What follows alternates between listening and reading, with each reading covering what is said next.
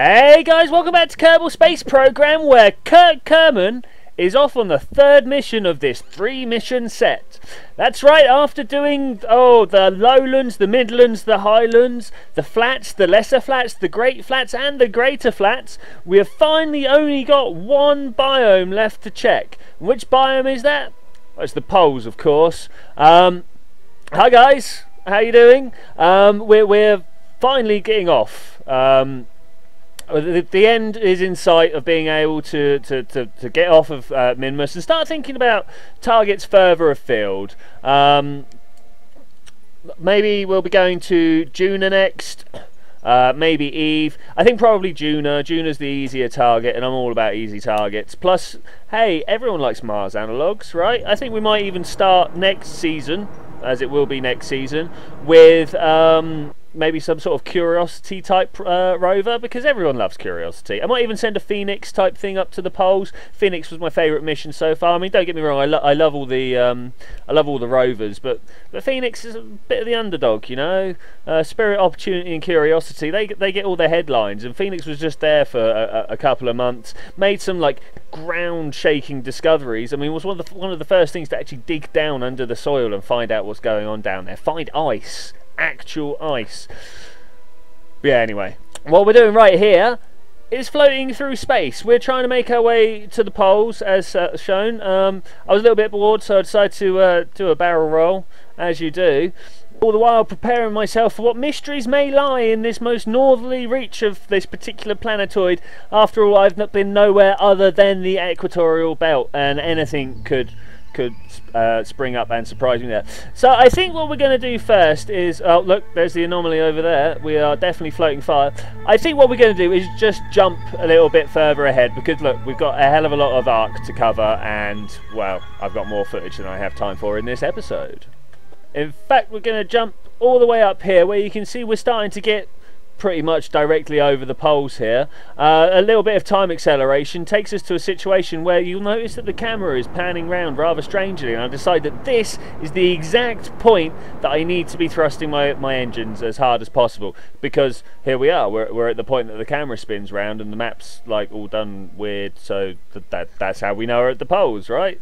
Yeah, little Kerbin away there in the background, reminding us yet again what it is we do all this for. Uh, the advancement of the species that we left back at our home planet, so eventually that we're not just constrained to our one little rock of floating through the void of nothing, that we can reach out and, and touch other planets, make our influences felt there, maybe set up home as the brave boys here have been doing for many an episode now. Um, I, have lost track of how long this entire mission has lasted because like various ships have gone off at different times and come back. Um, what we might have to do is check Keith Froggy Waiter and, and see what his mission time is.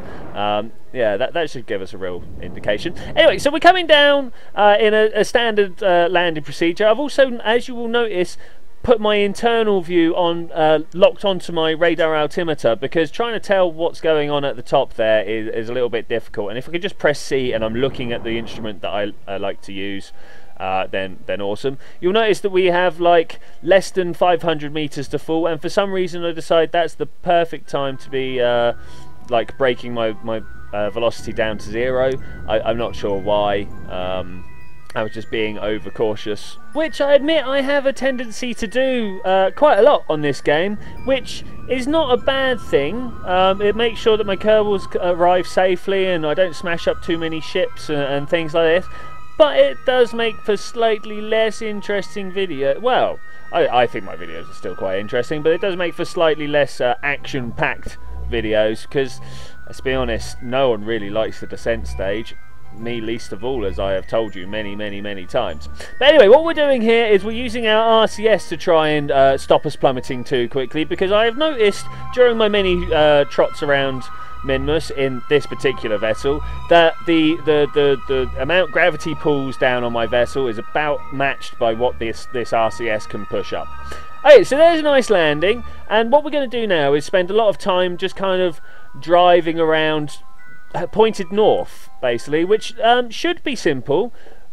But north keeps changing as you drive around up here, and we want to find the exact north pole, right? So, what I'm going to do is just kind of skip forward a little bit. until I feel comfortable to uh, get Kirk out. Um, we, have swung, swung, around a lot here, uh, and I, I, think I've narrowed it down. Now you'll notice here that I found out how to get EVA, uh, get Kirk out on EVA, despite his um, uh, portrait not appearing in the bottom right. If you care that much, you've got to look around until your um, mouse says uh, command capsule as, oppo um, as opposed to just not I suppose. Um, and then uh, you click it normally, not right click it, so it bring brings up the list of astronauts, and you go, this one, I want him out, um, just like you would with the science depot. Okay, so we're slowly um, edging our, our, way around, basically just trying to find the exact point of the pole here. Um, the the problem here is that I don't actually have my nav ball up, though I have noticed that I've got um, a heading marker uh, on the top right. It is the the the very very bottom line. It's currently saying zero and one.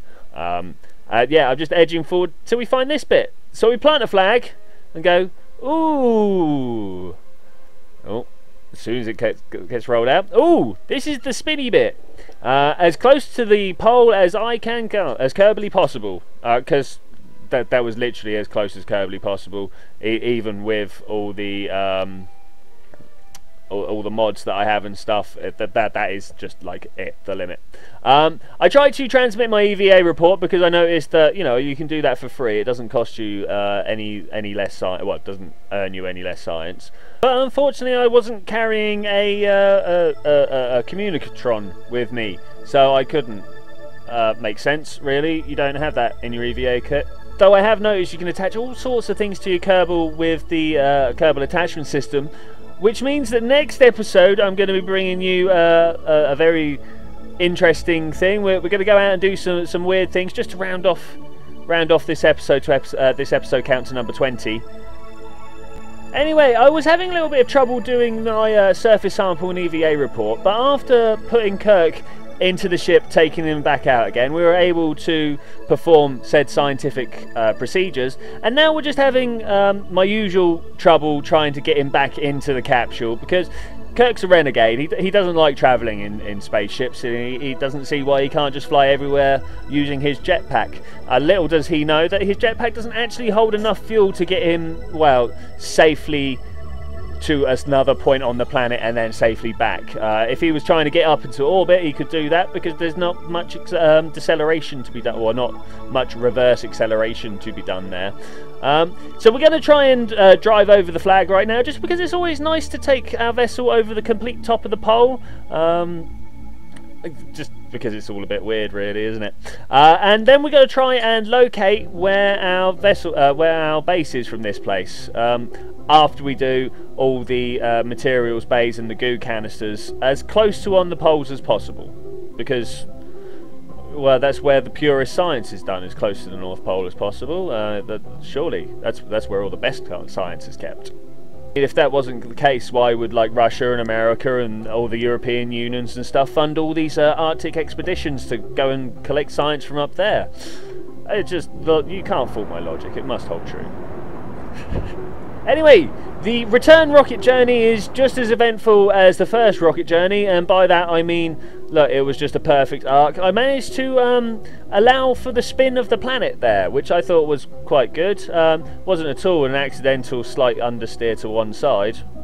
no, not at all. But anyway, we're going to jump forwards until we are pretty much overhead and that looks close enough to me. Uh, we were doing a slight upwards burn there just to make sure that we got up to the brow of the hill rather than slamming into the side of it, as uh, we all know is a bit, a little bit of a, a, a trouble state to find yourself in. Um, and just cruising down until we, we find ourselves right next to said base. We now have to drop about 100 meters per second per second that that's not too too hard to do. We we just uh, to keep down the building excitement that will uh, stop us from doing our jobs and concentrate on our instrument panels and just making sure we we, we get down safely. Because whilst the very end of the mission is in sight, we could still just completely mess it all up by either crashing this ship too hard and losing all the science, or by ploughing into our refuel depot without really meaning to, thus wiping out the ship that contains all the all the pre previous sciences we found, blowing up our uh, refuel points and meaning that all our scientific endeavours have been ruined, wiping out all meaning of this complete series. But I don't think we're going to do that. So we jump forward a little bit here as you may or may not have been able to tell from that ever so uh, subtle edit right there. Um, and using both my brakes and my RCS, we still very nearly actually crash. Well, we do actually make a collision with the ship that contains all the science, and we very nearly did actually blow up everything. But it's alright, we managed to, uh, to, to settle down fine, and we're now just going to park our ship here pick up all our science, maybe do a little bit of breakdancing because you know we've been on Minmus a while now, and uh, it's always nice to show off our skills in a low gravity environment. Of course, to fully finish off this mission, there are a few things that Kirk needs to get out and do. Uh, the first one being, of course, moving all the science across to the vessel that will return all the science and indeed all the Kerbals. That's easy. We just grab it out of one uh, one cockpit. Struggle thinking about why it's got everything uh, why it didn't get everything. They left one one science experiment behind for some reason. Not quite sure why. Um, Gonna wander over, make sure we get all the materials bays and the goo canisters. Or alternatively, we could consider uh, starting the ballet that is uh, linking up two vessels to be refueled. Uh, this always goes down so incredibly well because my jetpack skills are just top notch. Uh, indeed, they're so good that this time we decide not to go for the jetpack skills and just wander over there until we have to actually fly up to uh, make contact with the refuel nozzle. But there we go, everything's worked out fine, and now we're going to fly over and get the um, science material, uh, science base here. This, of course, being the last activity of the Get All the Science active uh, mission. Sorry, activity twice. That's no good. Um, and all we need to do now is fly Kirk over to the escape plan, uh, Alexander's Pride, and dump all the science up in the main control uh, command pod there. Or we could do some really weird acrobatics thanks to the way the Kerbal Space Program does ladders and jetpacks. Whilst I have had some rather beautiful experiences from this particular way that the game deals with the two things. I've had uh, backflips, forwards flips, cartwheels, little things like this, which, which you know are quite fun. I'd rather just get the mission finished at this point. We, we've spent many days, and I really just I just want to uh, I want to be able to finish a mission in Kerbal Space Program and look at all that science there. So we're just going to store it down. For some reason, even though I don't still have the science on me, it still lets me review the science that I do not have me anymore.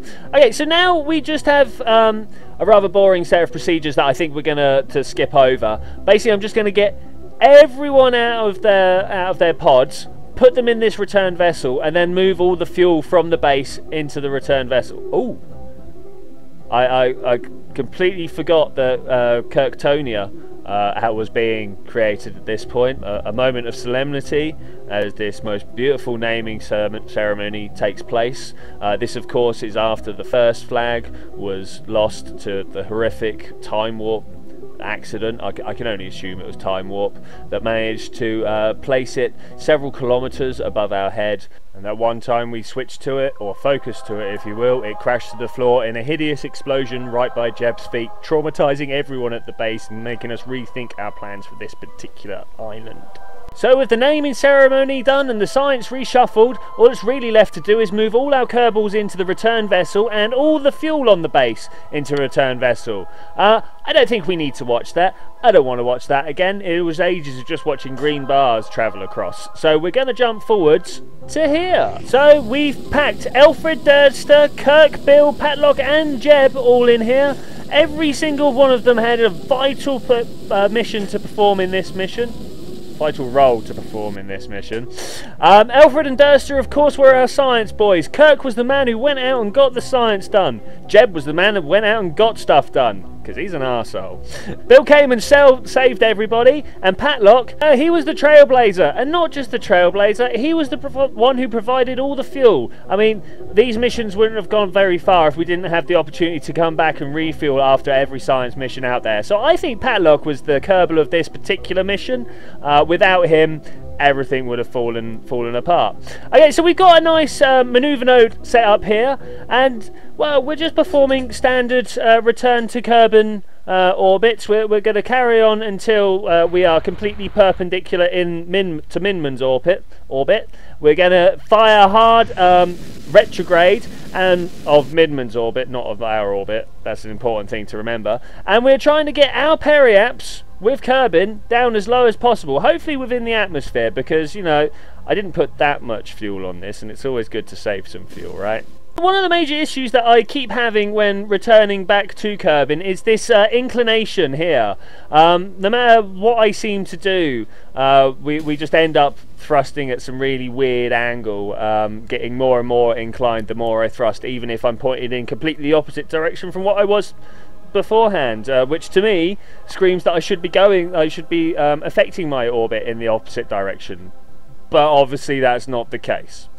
Anyway, in the interest of not making another half hour episode, uh, we've skipped down until we are at the low point in Kerbin's orbit. Uh, you'll notice that I'm out of fuel here. That's because I performed a singular aerobraking maneuver and this wasn't good enough. So when I was up at my apoapsis, we dropped it, uh, dropped the periaps down even deeper into the atmosphere so that we could slow down quicker. There we go. There we go. We so we we summed up everything that happened there. Uh, so here we go, the return, the return journey. Um, hopefully, we're going to make it down safe, and hopefully, we're going to make it down somewhere close to the um, space center. But that last bit isn't all that important, as we all know. As long as we just get it down on Kerbin somewhere, we can recover it and get all the sciences, and that's the important bit after all. Okay, so we got picked up a bit of an oscillation here. Um, I also like the way that the purple from my lights and the orange from the heat shock work together. Um, and for some reason, I popped my parachutes proper early. Um, mainly because I wanted to, to, to stop myself and, and slow myself down here.